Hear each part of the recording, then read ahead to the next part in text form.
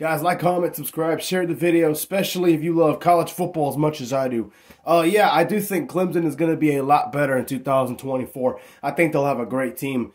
Uh, biggest games on the schedule, obviously the three that there are, Georgia Bulldogs, Florida State Seminoles, and the South Carolina Gamecocks. South Carolina is a big game from every year because of the rivalry. And given that they have lost to them at least once in the last two years, it, it makes it a little bit bigger because Shane Beamer, outside of this past year, you know, they had a lot of injuries and stuff. They did have back to back winning seasons. Uh, so, yeah.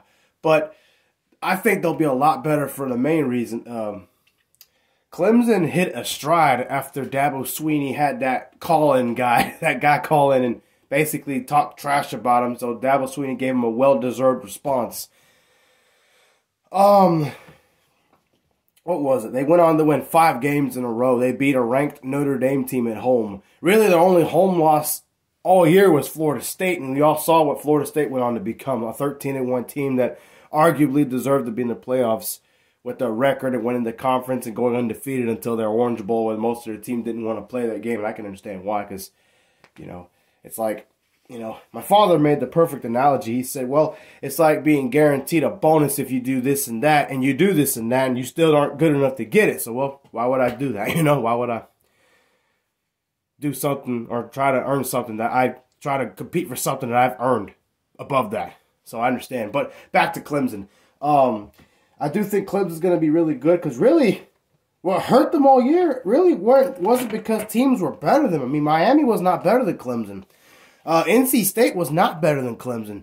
Duke was not better than Clemson. I don't even think, to be honest, looking back at that whole game, I don't really think Florida State was a better team than Clemson either. You know, now granted they beat Clemson, but Clemson kind of beat themselves in those games with missed field goals, turnovers. You know, not playing good football fundamentally. Outside of that, they ran the ball up and down anyone's throat if they wanted to, and that included Florida State in that game. They ran the ball pretty good on them really better than anybody else did against Florida State all year. If you look at it, to be honest, they threw the football pretty well. Cade Klubnik started hitting a stride. He turned the ball over a lot less in the second half of the year than he did the first half of the year, obviously.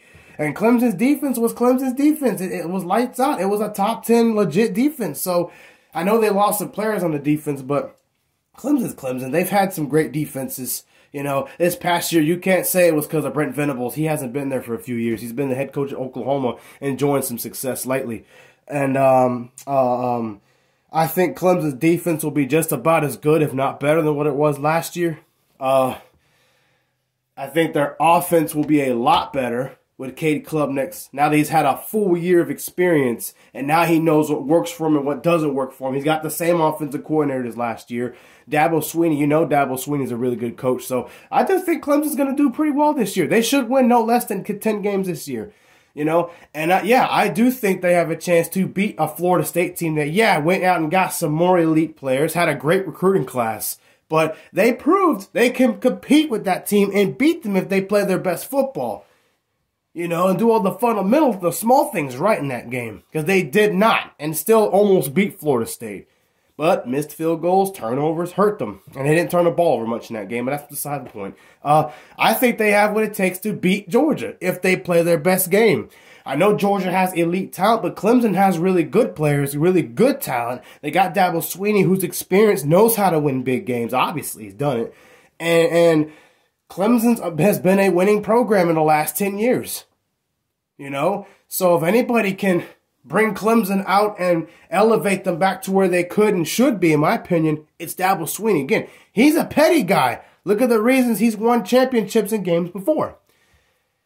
He loves it when the media talks trash about him and his team. He loves it when fans disrespect him. Obviously, that he loves that even more. And I'm being sarcastic when I'm saying he loves this, because he doesn't it motivates him, puts a fire under his rear end and his team and his program's rear end to play better and win more games. So don't be surprised if Clemson messes around and beats Georgia, beats Florida State, and is back to where they were. Don't be surprised. I'm, I'm just, I'm not guaranteeing they'll be better. I'm not guaranteeing they'll beat Florida State or Georgia or any other great teams, but don't be surprised if it does happen. Because I got a feeling Clemson's back.